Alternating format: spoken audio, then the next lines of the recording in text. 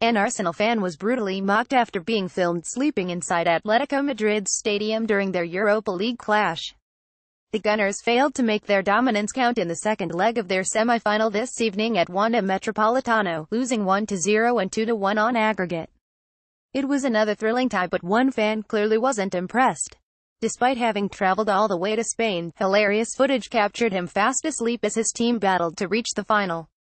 The cameraman can be heard bursting out in laughter just as the bloke wakes up.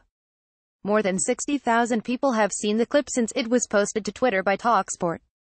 Twitter, TalkSport An Arsenal fan was torn to shreds for falling asleep at the Atletico Madrid match and football fans were quick to mock the hapless lad. Sums up the Gunners perfectly, one viewer wrote.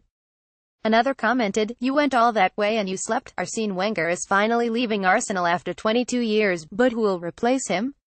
Getty while a third joked, too many beers. The disappointing result tonight meant it was the last outing for Arsene Wenger as Arsenal manager in Europe.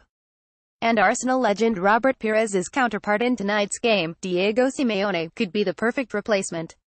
Related articles